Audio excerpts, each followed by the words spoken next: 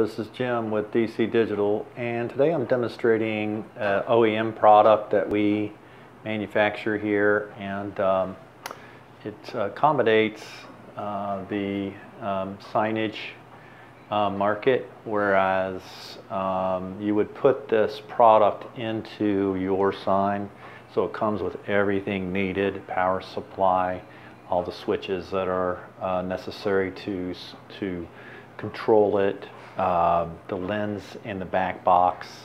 And here I'm showing you some of the uh, some of the different signages that we have put them into, uh, just to kind of demonstrate that.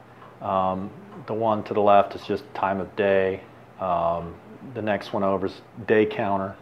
Uh, we can send uh, um, majority of letters out where you can where you can have a scrolling uh, sign and then another day counter. But um, it has multiple uses, whereas uh, you could set it as a countdown timer with hours and minutes or count up timer.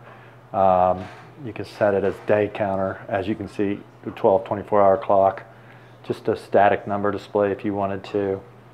Uh, it does come with uh, everything that you see right here uh, with the back box. You can see the back box and the lens. And uh, if you go to our um, that specific product, we do have a blow up of how it all goes together.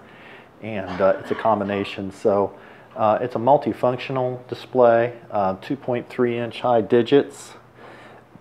It's designed to go into a um, like a, uh, this is a foam type sign and uh, you just cut it out and then the, the, it has four screws here for mounting and these are nylon screws with nuts and we supply all that um, just to kind of give you a look see of the back how it all goes together.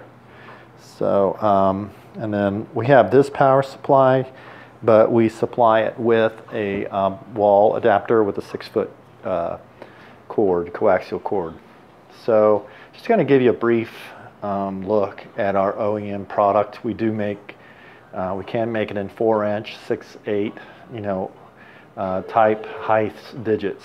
So this is our OEM DC-25 OEM. Uh, this is Jim with DC Digital. Thank you.